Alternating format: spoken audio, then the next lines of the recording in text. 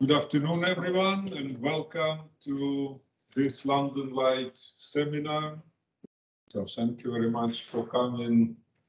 Um, we have today very interesting speaker. Many of you know him very well, and I'm sure everyone have read many, many papers by Nader Engheta. And today he will tell us about 4D metaphotonics and maybe he will tell us what future is for metamaterials and metaphotonics. So thank you very much, Norbert, for coming. Thank you. Thank you very much. It's a pleasure uh, for me to be here. I want to thank my friend, Professor Anatoly Zayats, for his kind invitation and give me a chance to be here. And I have many friends, some of whom are in the audience uh, in King's College and the other universities in London. Thank you all very much for coming. Uh, as you can see from the title of my talk, I want to give an overview of uh, one of the areas of research activities in my group, which deals with uh, four-dimensional metamaterial. And what do I mean by four-dimensional metamaterials? Uh, these are the structures that we would like to use to manipulate uh, waves uh, by actually structuring the material parameters, not only as a function of space, but also function of time. And as we go through this, you're going to see that, of course, this will give you additional degrees of freedom and how we can actually utilize the degrees of freedom. But before I get to a specific uh, uh, topic that I'd like to talk about, I'm going to show you four slides first as just the background uh, material for this topic. So uh, we would like to deal with the interfaces spatial interfaces and temporal interfaces. Now, we're all familiar, by the way, with the spatial interface. The simplest possible scattering problem in electromagnetics, of course, is the Fresnel problem, that you have a flat interface between two semi-infinite medium that you know we teach to our undergraduates as a one item, as first item in electromagnetics. And of course, we know that the tangential component of magnetic field should be continuous and tangential component of electric field should be continuous when there is no uh, surface current density there. What is the dual of that in time? In other words, what is the equivalent of the temporal interface? Well, equivalent of that is the following. Imagine that you have an unbounded medium and then you have a wave propagating in this unbounded medium. And at the t equal to t naught, you rapidly change the permittivity of this medium. That would be a temporal interface. And that temporal interface has its own boundary condition, which means the vector d has to be continuous just before and just after the temporal change of rapid change of permittivity. And also the vector b has to stay continuous. Now, why is it that in this case, the boundary condition in time, of course, is different than this? To get a little bit into that, let's go to the next slide and ask ourselves this question. Of course, we always follow Maxwell's equation, and uh, we need to make sure that the spatial derivative is finite and the temporal derivative is finite. And of course, we know when the spatial derivative is finite, that's the boundary condition we have for spatial interface. But for the temporal interface, we need to make sure that dd dt and db dt stay finite just before and just after. And that's what vector d has to stay uh, continuous and vector b as much the same way. Now, vector d can be written in terms of epsilon dot e.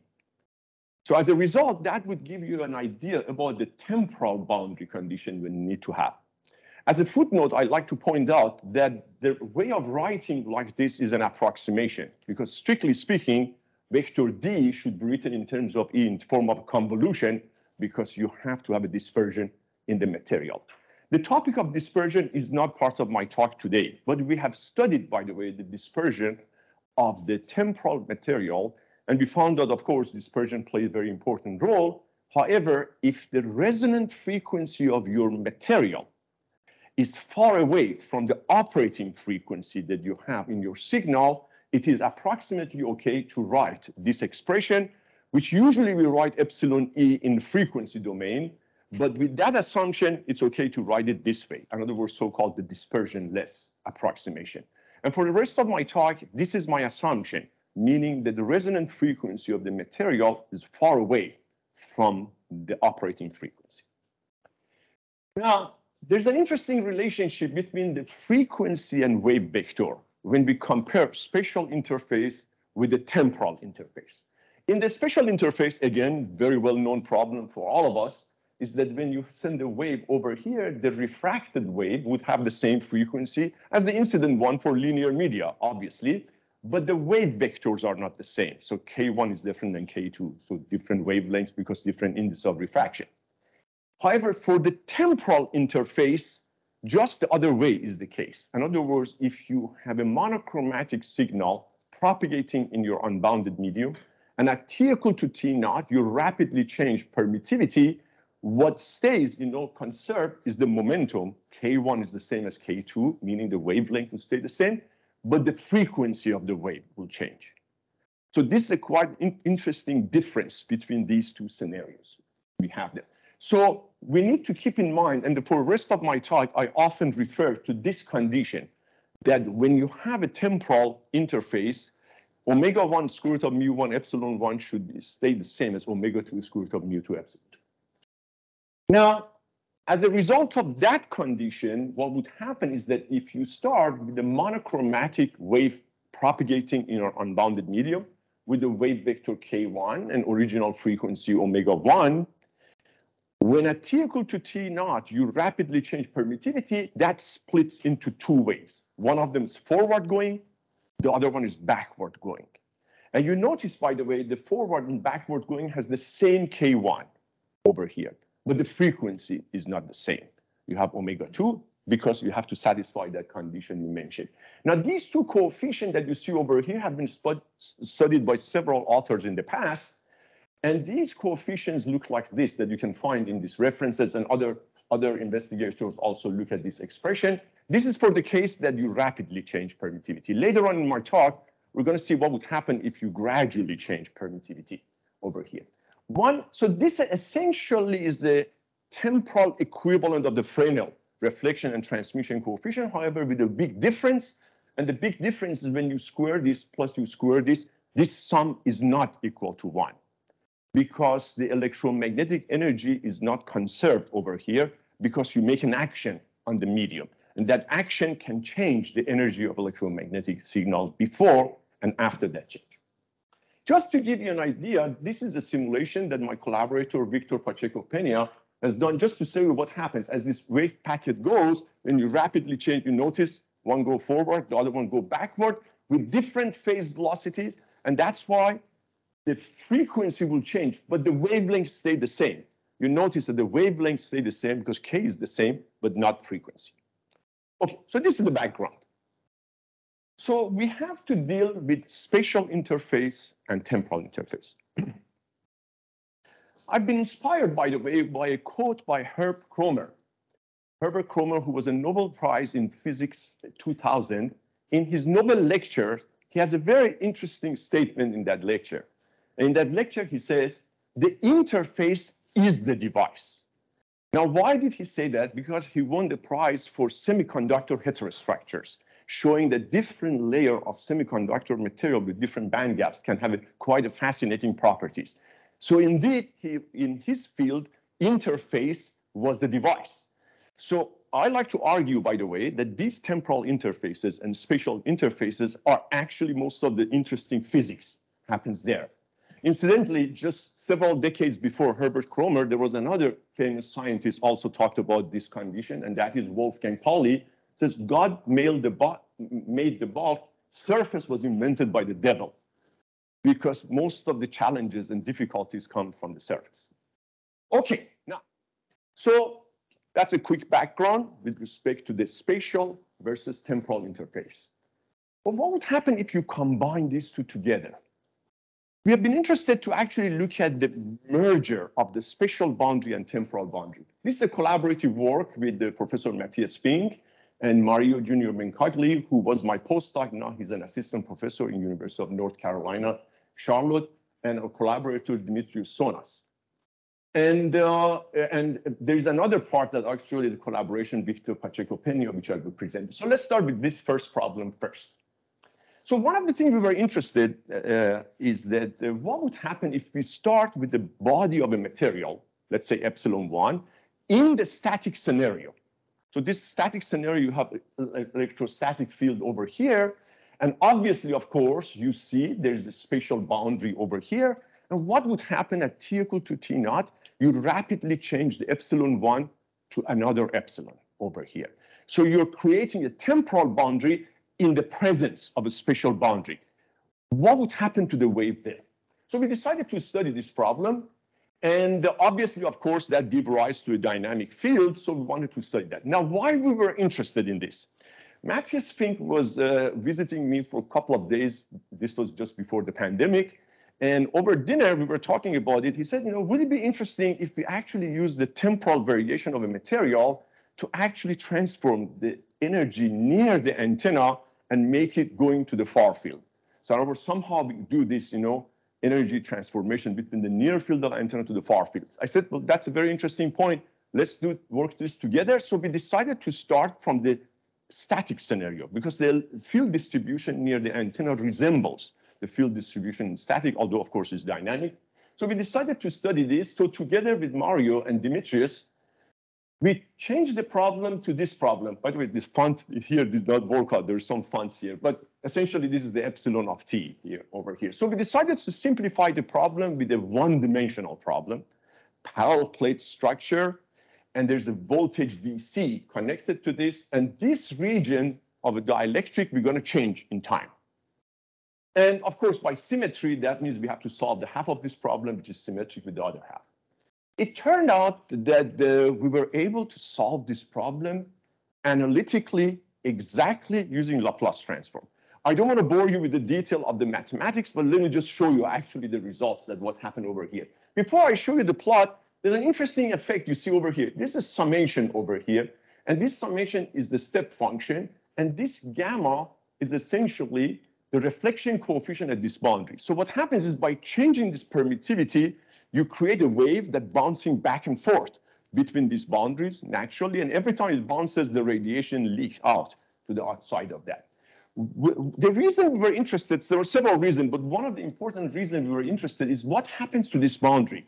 Because this is a spatial boundary, which means tangential component of E has to be continuous, but at the same time is a temporal boundary, which means vector D has to be continuous in time. So how do we reconcile these two boundary conditions at the same location? And this actually gave us the answer. In other words, we were able to exactly solve this problem. So what you see over here is distribution of the electric field at different moment in time as a function of z that you see over here. So you notice there's an outgoing wave, there's a backward going wave. This one hits the other boundaries coming back. So there's a multiple reflection there. So what would happen if we sit just this side of the boundary and just that side of the boundary? What kind of boundary condition do we see there? This is the result of that. So imagine that you're sitting at 0.9 L, L being the length of this dielectric, you're just this side of it, and another one of us sit just the other side of it. And this would be the distribution of the field as a function of time. You notice there's a little difference over here between these two. And this is because we are not exactly on the boundary. So when we come exactly on the boundary like this, everything coalesces together. So the temporal boundary condition and spatial boundary condition have to be satisfied naturally as they should. But this is because, of course, the combination of all the waves that's happening there. So this was our, our early study just to get a feel for this one.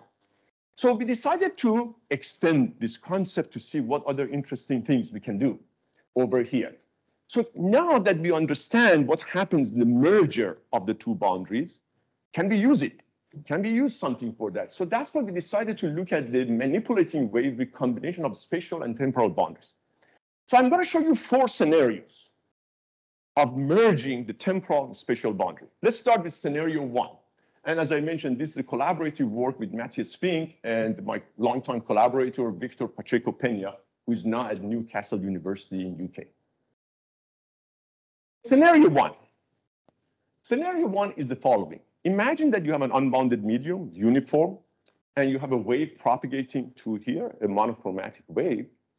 But now you would like to actually change the permittivity of this medium, but not the way we were doing it before.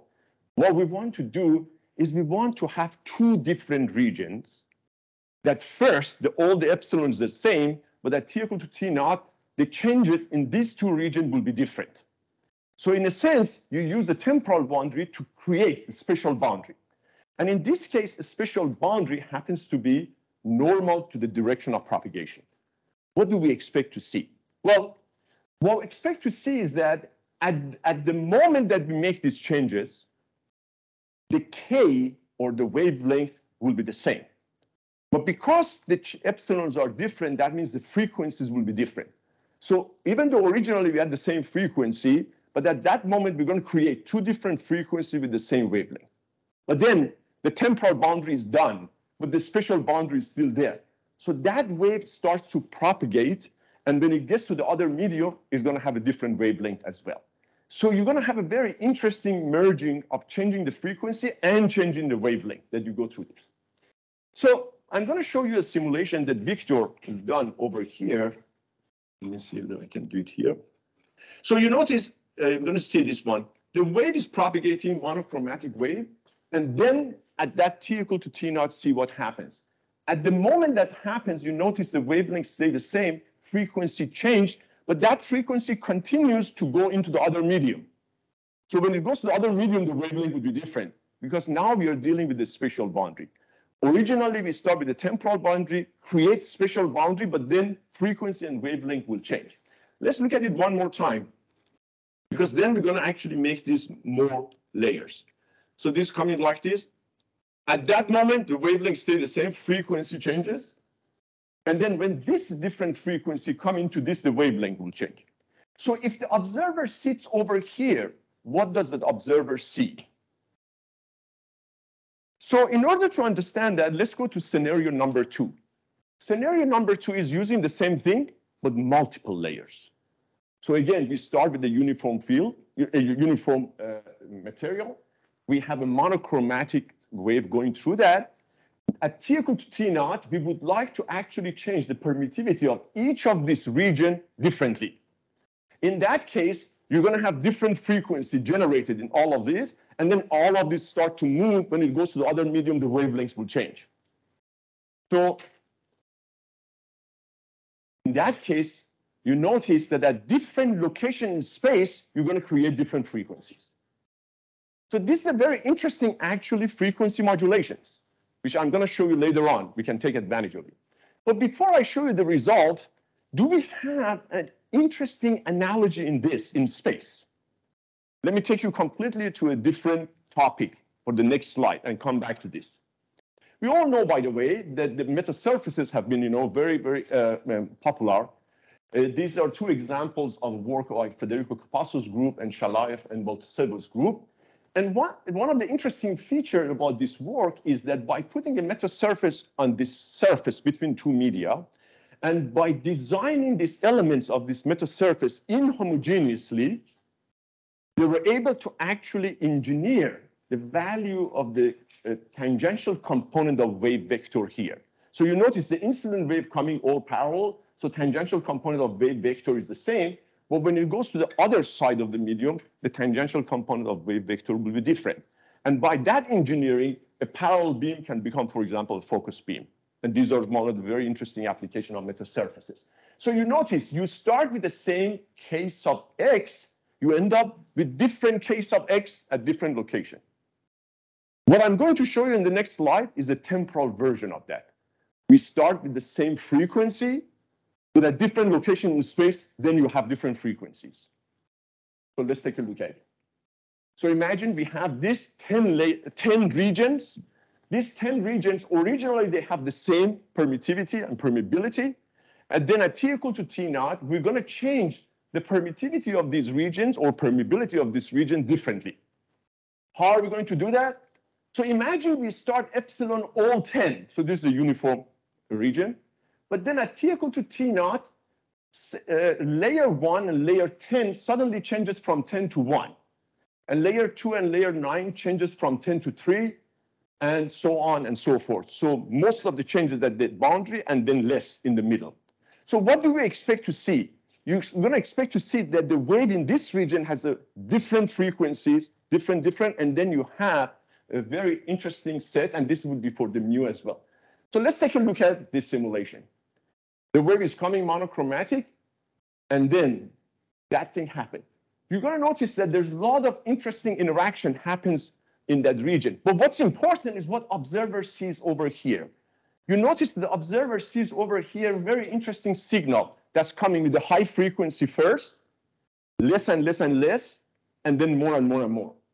Why? Because you did change more the epsilon of layer 1, layer 10, compared to the layer 5 and layer 6 that you did that. But that was under your control. I mean, you could have done it any combination you want.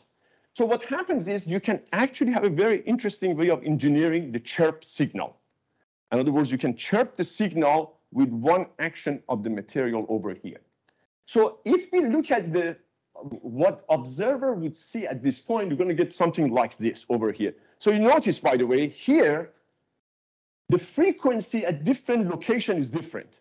And that's why I was mentioning to you. So it's a temporal analog of this case. In this case, at different location, you have different k sub x. In our case, at different location, you have different frequencies. Now that was your choice to change layer 10 and layer uh, layer 1, layer 10 from 10 to 1. You could have done it any different combination you want. For example, in the next slide, we're going to do it the other way. So start all of them with the same permittivity, but layer 1, layer 10 changes from 10 to 9, whereas the layer in the middle changes most from 10 to 1. In that case, lower frequency happens over here and higher frequency in the middle, and any combination you want. So let's take a look at this one. So now what comes out over here, you're going to see at the beginning is a lower frequency, but as the signal propagates become high frequency. So you can actually engineer different, uh, I mean, chirp signal that you would like to have, as you can see over here. So let's go to scenario number three. Scenario number three is the following.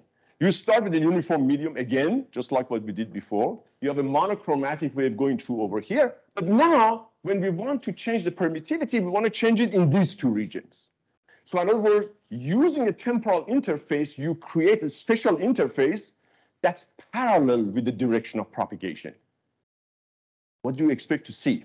Well, before I show you the result, let's find out what we need to do.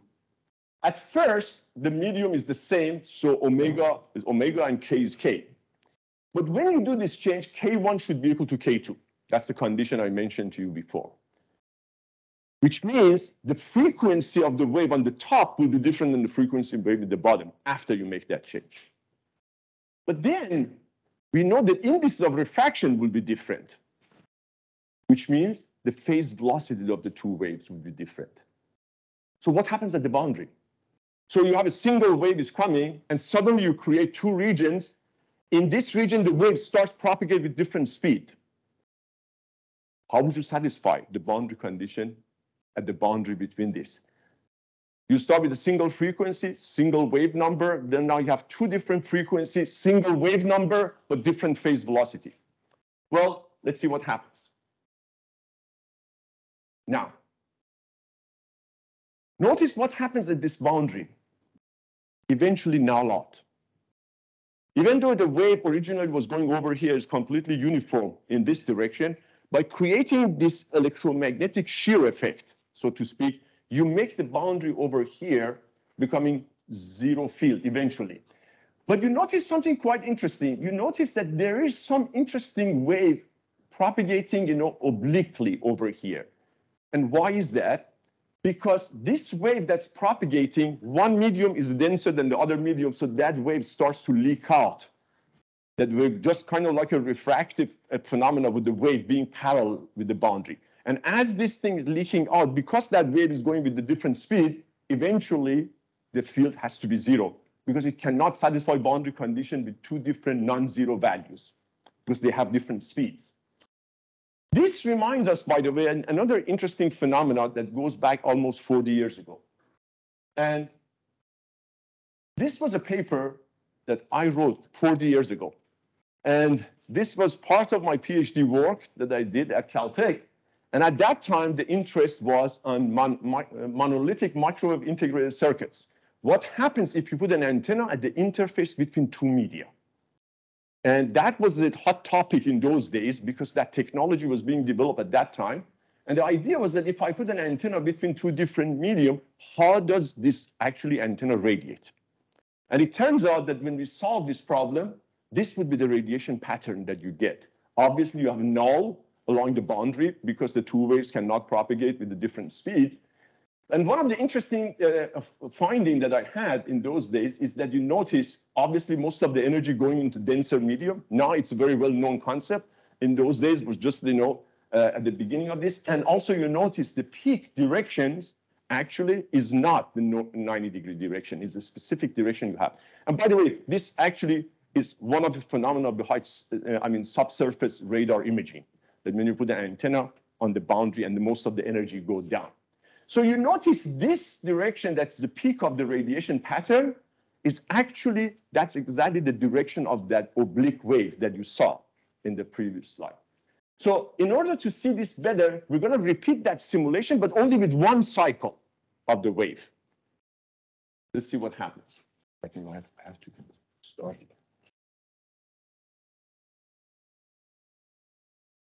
So this is going like this, and then see what happens. You see you have a forward wave going, you have a backward wave going, and you notice what happens at this point. This is the oblique wave that I was telling you about. The leakage that's happened and guarantees that the field along here becomes zero. Show this. So this essentially becomes the temporal version of what I showed you in the standard spatial, you know, antenna on the interface case. Okay, very good. Now that we know what happens at the single boundary of this parallel, so-called the shear effect in electromagnetics, let's create several boundaries. What do you expect to see over here? Originally is a wave in a single medium. Then at t equal to t naught, you create this different layer in time.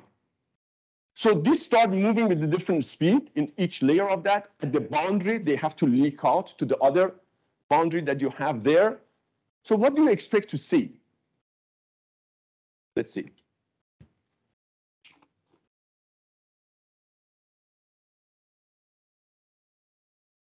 Now, see what happens. And you notice, by the way, this wave coming over here create a focal line and then again diverge that's going through. What does this actually remind us?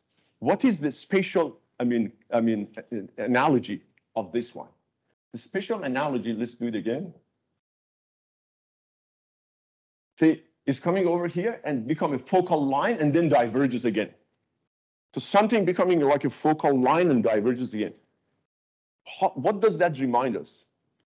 Remind us of a converging lens. This is the spatial case, and this is actually temporal phenomena of that. So here you notice, by the way, different segment of this have a different path length. Of course, that's why we have focal point, obviously. But this happens entirely at the same aspect. So as a result, temporally, this comes over here. So rather than having a focal point, you have a focal line. And the same way that here, when you have a focal point is diverges, the same thing is happening over here. So you can actually essentially create a four-dimensional lens. So this is effectively a four-dimensional lens. You're bringing the wave closer to each other, but you can do it entire wave. You don't need to have a point. So it's quite interesting to see, you know, what would happen in the focal. We don't have a focal length over here. This actually becomes focal line. So scenario number four is when we have an oblique case. So imagine we have an unbounded medium that we have over here. Again, same story, we have a, a, a uniform uh, monochromatic wave. But this time when I want to change the permittivity, I want to change the permittivity in this arbitrary shape. What would you expect to see? So obviously when I change this thing, the frequency here, different frequency there. Wavelength would be the same. But then this wave with a different frequency is going to hit this spatial boundary that we have there. So depending on that angle, you can play around. Quite interesting phenomenon. Let me show you only one example over here. So let me again start this.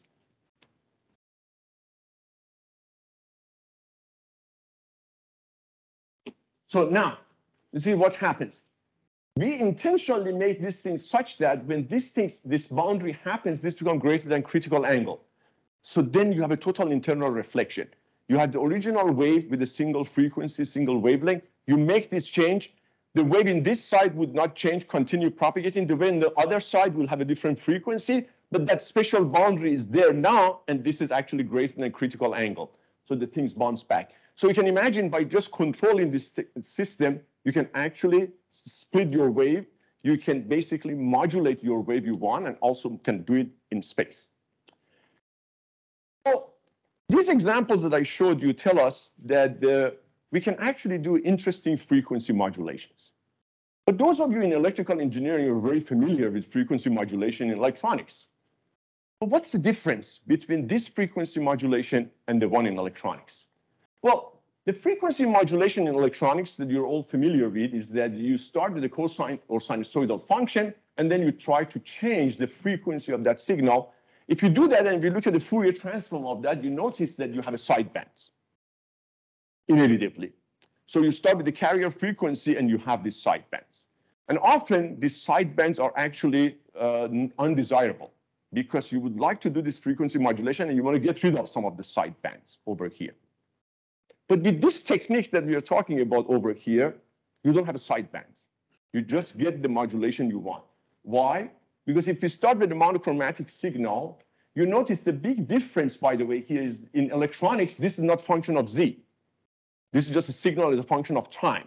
So when you change, modulate the frequency, you just have to expand that in terms of, you know, a system you have. But this is also function of Z, so it's a wave. So you do that on the material, on the medium. And when you do that in the medium, it happens in all of those points. And because it happens in all of those points, all cooperatively work together and give you only one single frequency output. Because if you start with this, as we showed before, omega 2 is different than omega 1, and the expression of omega 2 versus omega 1 is this formula. So you notice you actually would have only one, uh, I mean, main frequency you have. I was talking to two colleagues of mine in electrical engineering in, in electronics, and they actually noticed something interesting. They said, well, in this type of modulation, you don't need carrier. So in other words, you start with the original signal, you can actually move it to another signal you want. So this is actually, in that sense, very different than the standard frequency modulation we have. So uh, with Victor, uh, we decided to theoretically study this as a potential future device. So we said, okay, if that's the case, if I have original signal coming over here, can I send it to a ring resonator? And while that wave is in the ring resonator, you change the cladding of this. When you change the cladding, you can change the frequency of that. When you do that, let it go back and couple to another one. These two the same material, except you have to design this waveguide slightly differently in order to make sure the reflection here is minimized. So you change, start with F naught, you get to F1.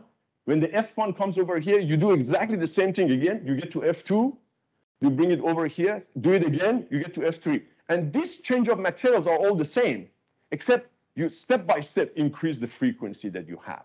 So you can have a very interesting device that you can actually control the frequency the way you want it in the same set of design. So let me show you this uh, simulation. So the waves coming over here, when it's inside, then you change this, this case, the frequency changes, you come over here, then you rapidly change this one, you come over here, and now you change that one. So the frequency step by step come up. So, so this, I showed you that would be uh, a, a, way to actually look at the frequency modulation in a completely different way because you deal with the wave rather than the signal at a given, uh, I mean, position in circuits. It's actually a wave there. Okay, so that's for frequency. But how about amplitude? Can we actually also have amplitude modulations?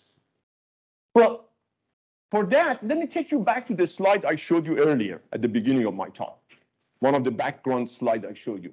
I mentioned that if you start with a monochromatic signal as a wave, then when you do that variation with the epsilon, you're going to get a forward wave and backward wave, back, forward wave and backward wave. And the magnitude of the forward and backward wave depends, of course, on the permittivity.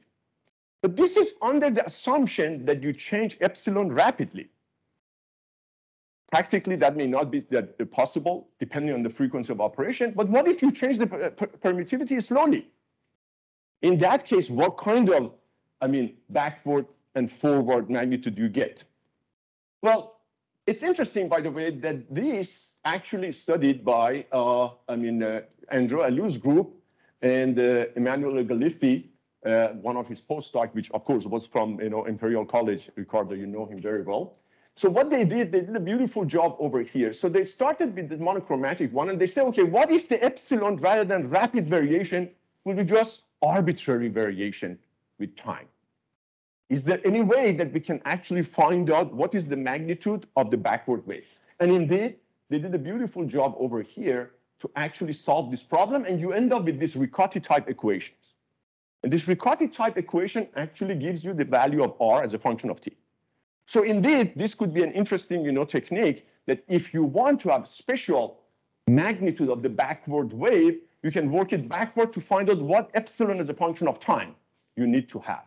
So that will give you not only variation on the frequency, but also variation of the amplitude. So that's one way of doing that.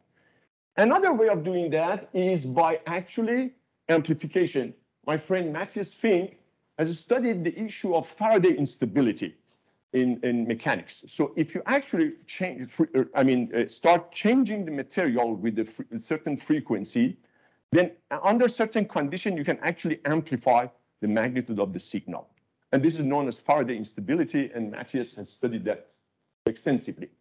Recently, Moti Segev and his group applied this concept of, uh, I mean, parametric amplification or, or, uh, or Faraday instability to show theoretically that indeed you can amplify emission from an excited system and having lasing in photonic time crystals. But we have another idea, by the way, uh, for controlling its amplitude and amplification. And that idea that I'm going to uh, talk to you about is based on the concept of non-Foster structures. Now, we started actually, we worked on this problem almost three, four years ago. And in fact, we even designed circuit, uh, I mean, transmission line that we want to experimentally verify that with the collaboration with the colleague I, I have in electrical engineering.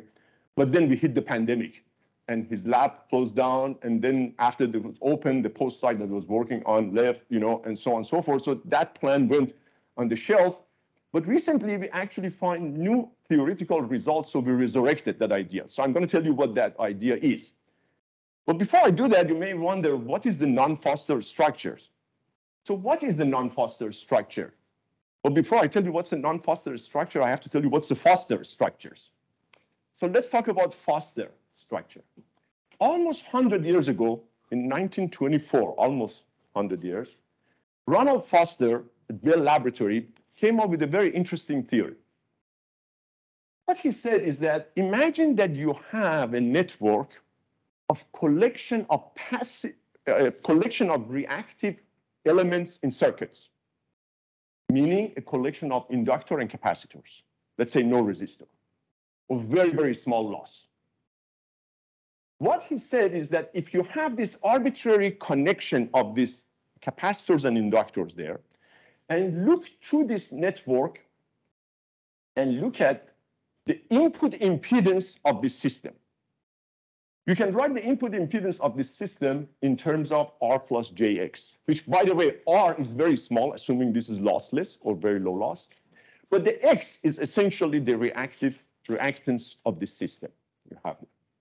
What he found out, by the way, that for passive structures, this function x as a function of frequency can be written in terms of the ratio of two binomial whose poles and zeros alternate each other. And what that means, by the way, is that if you look at the function x as a function of omega, the derivative of that with respect to frequency has to be positive. There's no other way for passive structure, there's no other way. That's known as Foster reactance theorem. By the way, as a footnote, uh, because he was electrical engineer, he's using e to the j omega t as time convention. So let's keep that in mind. Because if it's e to the minus i omega t, that sign would flip. But anyway, that's a side issue. So he showed that this has to be positive. And that's, of course, very well the case in many systems. For example, if you look at a capacitor, 1 over j omega c, you notice this slope is positive. Or if you look at the inductor, L omega, this will be positive there. So all the passive circuit element, reactive part, not the, not the resistor, let's put that aside, follows this. In the material media, by the way, the same thing applies, obviously. This is a very general theorem. So if you have any passive medium and you look at the susceptibility of that medium, this derivative has to be positive. And that's one of the reasons when you look at Lorentzian distribution, you look at the Drude distribution, all follows this one. Okay. It turns out that the, one can ask this question, can we actually make the system non-Foster? Is it possible to break that? And this was a question of interest to electrical engineers and circuit designers back in 1950s, almost 50, 60, 70 years ago. Why they were interested in that? The question is this one. If we can have an element like a negative capacitor, if we can have an element like negative capacitor, what would be the impedance of that? The impedance of that would be 1 over minus j omega c, which means the slope would be negative, and that's against the Foster reactance theorem. Is this possible? They asked that question at that time. And in order, to, why was it interested for them? Because if you have such a system and you can connect it in an antenna, you can actually match the antenna over a good range of frequencies. And that's very important, by the way, in antenna design. It turns out that in order to do that, you have to have a system known as NIC, negative impedance converter. But what is this negative impedance converter? Which means if you put a regular load over here, and you have this negative impedance con uh, converter, the input impedance is minus A multiplied by this, which means what? Which means if you have a passive structure over here, what you see over here, you have this. But what does that mean? That means you have minus R minus JX, which means you have gain. So it is possible to have a non-Foster system if you have a gain structure. You have to pump it. You cannot do it with a passive medium. And indeed, in 1950s, for example, Linvill came out with this design. Two amplifiers next to each other with a regular load over here, the input impedance of this becomes like this. So you notice that the Z in is the negative of a constant multiplied by ZL. This has to be a gain medium. There's no other way around it. So with that in mind, we ask this question, will it be possible to have non-Foster structures that we can do this? And can we change that in time? So that was a question we posed about three, four years ago. So the idea is this. If I want to change the permittivity of a medium from epsilon 1 to epsilon 2, can I make epsilon 2 negative for the wave that's propagating inside of this? Remember that I have to make sure this condition is satisfied. It's a must. So imagine that I have a regular medium with epsilon 1 positive, and I have a wave propagating with frequency omega 1, mu positive, epsilon positive, and that's a regular plane wave. And then at t equal to t naught, I want to make epsilon 1 to epsilon 2, and I want epsilon 2 to be negative. One thing for sure, I cannot do that with a passive medium. That's an impossibility, as I mentioned, with the Foster reactance theory. But let's assume if we can do it with a gain medium, what do we expect to see over here? Because this condition has to be satisfied, if epsilon 2 is negative, that means the square root is purely imaginary, which means omega 2 has to become purely imaginary. Now, what does that mean if omega 2 being purely imaginary? That means the two forward wave and backward wave I was telling you about before, now in this case, this omega 2 has to become purely imaginary, which means what? Which means they're not waves anymore. They grow in time and they decay in time. Now that's interesting because we start with a wave, and if we can bring epsilon 1 rapidly to epsilon 2, and epsilon 2 is negative, and I have to force it to keep it at epsilon 2 negative. Naturally, a natural medium cannot do that. To force it, that means that wave actually freezes. And two portion of that, one part grows in time, the other one decays in time. Now, before I show you the, the result, you may ask, well, why can I not do this with the passive medium? Well, let's see whether we can do it with the passive medium or not. Let's assume we take a Drude material. Okay, you're familiar with the Drude material here. So let me assume I start with omega p zero and I have free space or simple medium. and I operate with the frequency omega 1. Okay, a wave is going through this. Now, I want to make this epsilon negative. What do I need to do? I need to bring a lot of polarizable particle into the medium, which means I have to bring the number density up. So omega p has to become up. Would be nice if I can bring omega p larger than omega. In that case, epsilon becomes negative. Okay. Remember, I start with this. Then I want this omega epsilon to be negative, which means omega p should be greater than this. However, as soon as I do that, I don't have omega 1 anymore because omega will change. Why? Because I have to satisfy this condition. So now I have a new omega, which is called omega 2. So what happens if I put omega 2 over here? Okay, I have this one there. Is this positive or negative? Well, in order to answer that question, I have to make sure this is satisfied.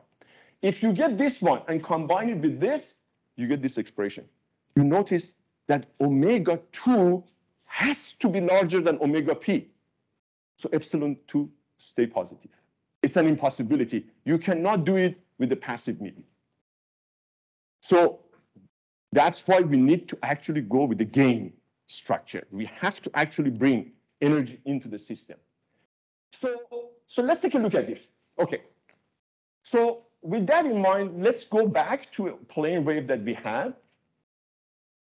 Frequency omega 1, wave number k1 propagating in the x direction with epsilon 1. At t equal to t1, I force this to be epsilon 2 negative. And again, I use the word force. You have to actually do it with energy pumping into the system. What would happen to the result? We have to make sure this is satisfied. This is the analytical result. So I don't want to bore you with the derivation of this. This is the analytical result that we have. Please take a look at this. This is quite interesting. This is an electric field and this is a magnetic field that comes out of this after you make this change. But please take a note. Time only appears here. This is just a parameter T1. That's the time that we did the change. So you notice time, time, varying time doesn't appear over here. This is only function of x function of time appears over here, but it's not sinusoidal. It's exponentially growing. This and this. So, and this is exponentially decaying in time. So this, these are not waves. The waves are frozen. These are not propagating anymore. So we had a propagating wave, and by bringing this to epsilon 2, we actually freeze this wave. Now, if you look at the analytical expression and just plot it over here, this plot actually shows us what's happening. So imagine I plot uh, the electric field, the magnetic field, and the Poynting vector, x versus time. If I play x versus time, before I make this change, this is a standard plane wave that's going. At t equal to t naught, I make this change, you notice the wave freezes. Now, this magnitude is quite large. That's why we had to choose different scale in order not to saturate it. So essentially, this value over here is the same as this one, and then grows exponentially that you see over here for the magnetic field and for the Poynting vector that you see there. Okay, so take a look at the field. This is electric field, this is magnetic field, this is Poynting vector just before this change. If you just look at it as a function of x at this given moment in time, which is before this change, you notice electric field and magnetic field are in unison, in phase. Naturally, this is a simple plane wave. And Poynting vector, you notice, obviously never negative and it's always have average non-zero. But what would happen if we just go the other side? If we go to the other side after this change, this is your electric field, this is your magnetic field. You notice that there are like 90 degrees, you know, shift in space. So as a result, it looks like the Poynting vector, positive and negative but it looks like that. Now, this is actually a very interesting puzzle that we solved just recently, and I'm going to show you the result. Even though it looks like the space average Poynting vector is zero for this frozen wave, actually it's not. And you know why it is not, which I will tell you why. The reason that this actually is a very interesting hidden physics that happens over here. Now, before I get to that one, let's go and complete the picture. So let me assume I bring it down I hold it at epsilon to negative, the field grows while it's frozen, and then, okay, when it gets to the proper amplitude I want, I change it back to positive. When I change it back to positive, starts to propagate. But this time I have two waves that propagate forward and backward. And take a look at this. So now you, know, you see this is a propagating wave because t and x appears over here. This exponential term is not changing with time anymore. It's just at two time, t1 and t2. So it gives me at what magnitude I want to stop and continue. So it's just like uh, the terminology I like to use is this one. It's just like, you know, you're going to the gas station to get a car. You go walk in that, you stop, you fill up the gas, and you go. So this wave is coming, you freeze it, amplitude grows to the point you want, and then you let it go. But in that case, you have to go both ways. And you're going to see the effect of this. Okay. This is the picture that you see over here. So plane wave coming over here, freezes over here, grows, and you let it go. When you let it go, it looks like two waves going opposite to each other, kind of like a standing wave. But here's an interesting point. It is not an exact standing wave, and I'm going to prove that for you. It looks like standing wave, but it's not exactly standing wave, and that's a must because of conservation of momentum. So we'll see what happens over here. So one thing is for sure, we have to make sure that the momentum is conserved. So when I have a plane wave coming like this, D cross B would be a momentum density that we have for that electromagnetic wave. So Minkowski momentum that we have over here. But when we change epsilon 1 to epsilon 2 negative, we just said that the wave freezes. So if the wave freezes, if the wave freezes, what happens to the momentum over here? Well, we studied this and we found out something quite interesting.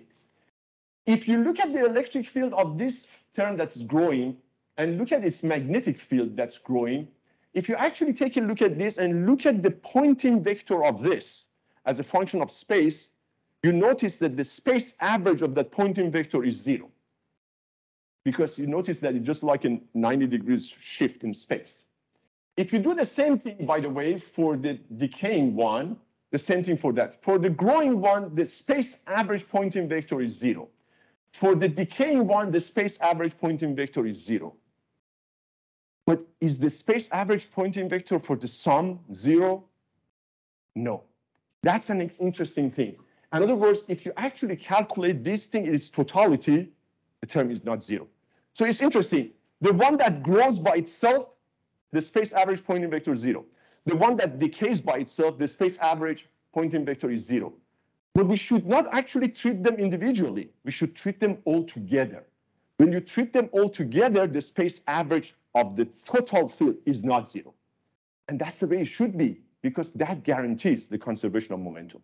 So even though this looks like the wave is frozen, there is still a net Poynting vector in D cross B that we have there. What does that remind us of, by the way? There's very interesting analogy in space consideration of that. We all know, by the way, if you have two regular medium with the epsilon negative in between and you send the wave through it, the wave inside that is evanescent. We all know that. That evanescent wave doesn't have any point time average Poynting vector. But when we have two of them, one decaying like this, the other one decaying like that, the presence of both, each one of them time average Poynting vector is zero, but not the presence of both of them. In that case, you have a tunneling effect of the Poynting vector goes from left to right. The phenomena that we have over here is a temporal version of that. So the growing one in time grows, the decaying one in time decays. Each one of them looks like the space average Poynting vector is zero, but both of them together, they're not. So you might say, how is it possible that I have E and H that is 90 degrees shifted in space and they don't have Poynting vector non-zero? It's because of this. What happens is we decided to actually look at the phase difference between E and H in space. It turns out that when you start this change, what happens is E and H are in phase. But as you go, the E and H start to move towards 90 degrees. But as that happens, amplitude grows. So in the limit, when this goes to a 90, amplitude is infinite.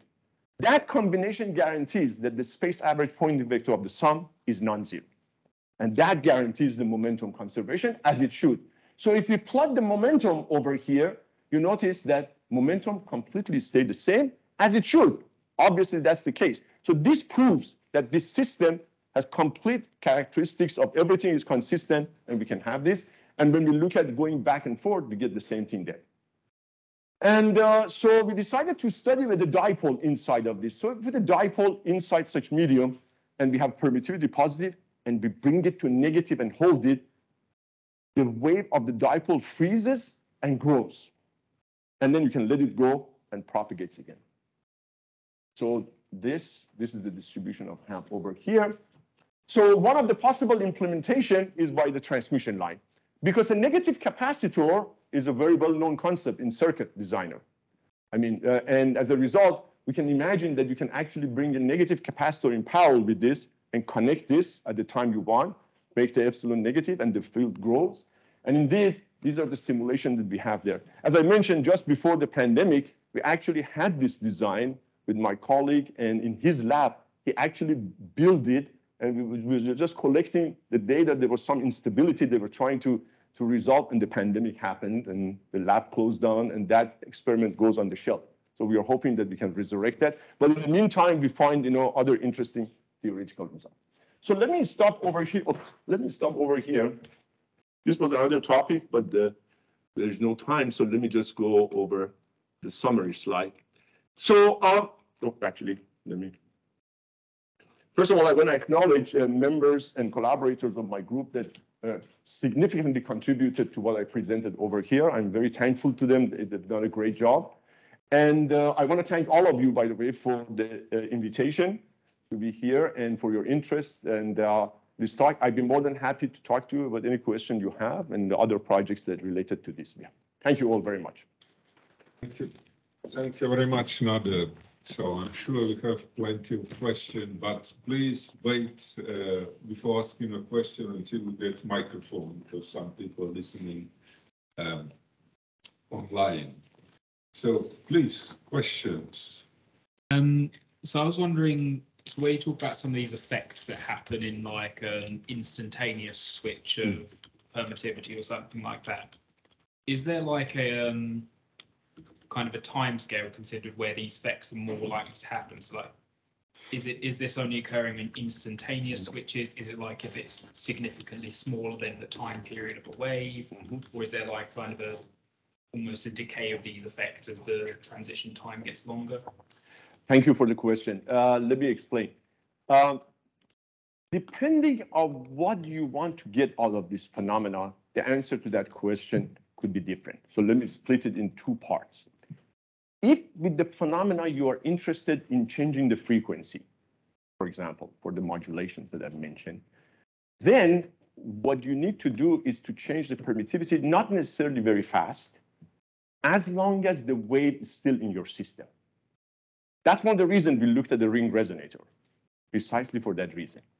Because while the wave is inside your structure, you can change uh, the permittivity. It doesn't have to be fast. In fact, if you do it slowly, and we, we have analysis of that, and I'd be happy to send you the paper on that one, that we look at the dispersion and we look at the variation of permittivity with a different rate. And actually, also in the paper uh, by Andrea and Emanuele, they have also studied, you know, the temporal transition as well for the different cases. It turns out that if you do that, eventually your frequency will change to what you want. In other words, going from epsilon 1 to epsilon 2, and the frequency relates to epsilon 2. But what you get by making this slow is that backward wave almost disappears. And by the way, that's also an analogous to the temporal, uh, to the spatial case. If I have a boundary over here and I send the wave to that boundary, part of the wave gets to the other medium, part of it reflects back. But if you make that boundary adiabatic variation from this medium to that medium, reflected wave almost non-zero, but eventually your wave gets to that medium. So if you care about only frequency variation, as long as during the transition, the wave is still in your medium, you can do it. You don't have to have it rapid. Now, let's go to the second part of that. If in your analysis or your application, you need to have a backward wave. There are some applications that the backward wave is needed. In that case, you have to do it rapidly, and by rapidly means the fraction of the uh, of the of the period of your monochromatic signal. So that's why it's mostly doable in microwave, at least so far. That's the thing. And that's one of the reasons, by the way, we were looking also at the circuitry. But main reason we were looking at circuitry because we wanted to do non-Foster one. Uh, and but Andrea Alù's group has done a beautiful job, by the way, looking at some of the experiments in the transmission line and they have their paper on the arXiv. You can take a look at what they have done with the with the switches, with the structures. So yes, depending on the application you want, that that variation can matter.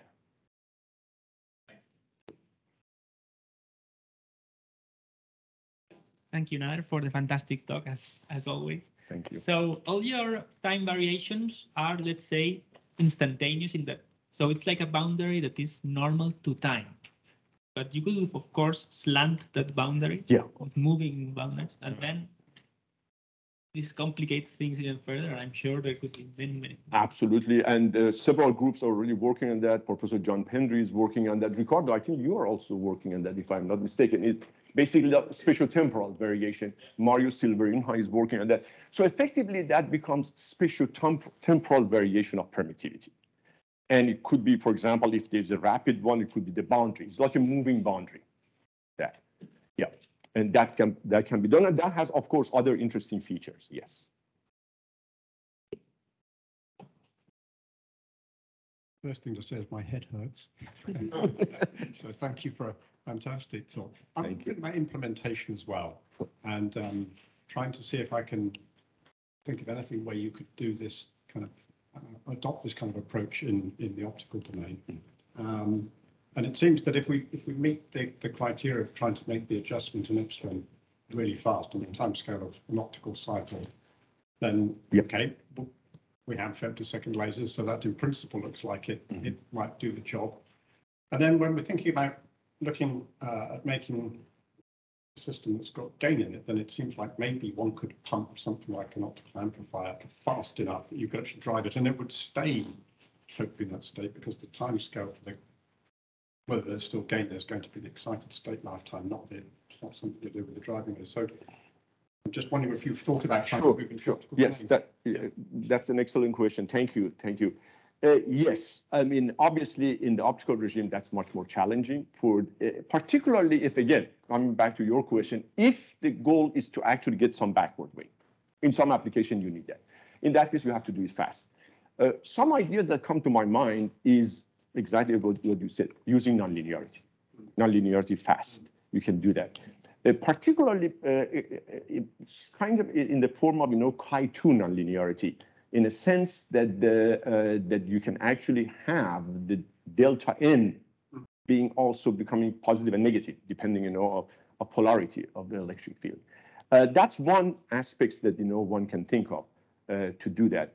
After all, uh, is uh, uh, if, if we, uh, for example, wavelength conversion, Alan Willner at USC has shown that actually experimentally, that you can actually have a metal surface that you send the pump through this, it can actually change the wavelength of the, of the signal, and that's based on the variation of delta n.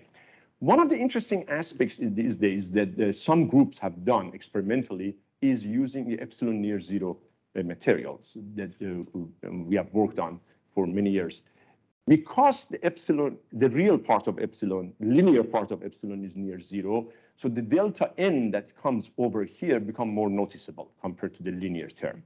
So uh, some work uh, uh, been done in that direction. Uh, Vlad Shalaev and Daniel Faccio, you know, have done some work with Sasha Boltasseva. Uh, I think Moti Segev has is doing or some, has done some work in that regard. So I think yes, the, the, to your answer, nonlinearity will be the solution to that. Now, how fast would that be compared to the signal? That remains to be seen. The losses, you know, all of those things there. But yes, I can foresee that that would be a direction to go in that regard if one wants to do it in the visible or near IR.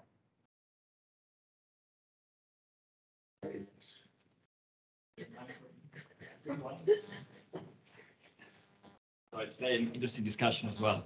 Um, my question is about, again, the same, uh, how can we have epsilon going negative? So you you showed us that, Non-Foster one. yes, Okay. okay. so you showed that uh, by purely pushing the carrier, increasing the carrier concentration would not be enough. No, no. Uh, So you for the passive medium, we cannot do that. Yeah. but in, in your mind, the active medium means that we are adding carrier to the material? No. Uh, what I mean, the, the things that come to my mind right now, that's one of the reasons I uh, stick to the transmission line. Because of negative capacitors are available. A negative capacitor is essentially capacitor connected to amplifier. Exactly. But for like, I'm, I'm thinking about optical. I understand. I understand. uh, I understand. can do that.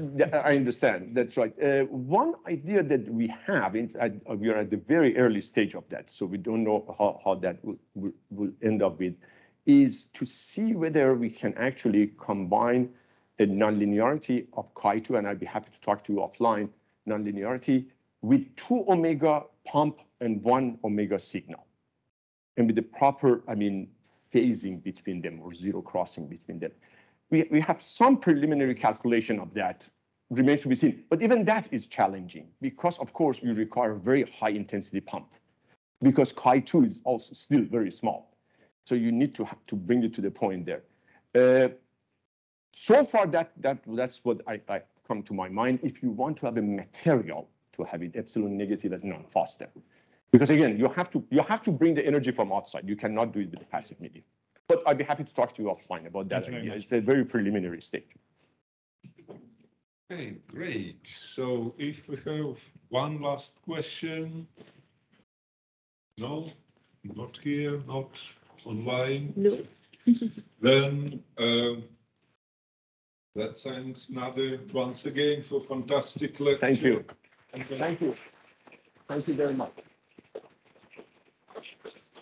And I think it's fantastic. You can see what we can do with Maxwell equation in a lecture theater where allegedly Maxwell taught.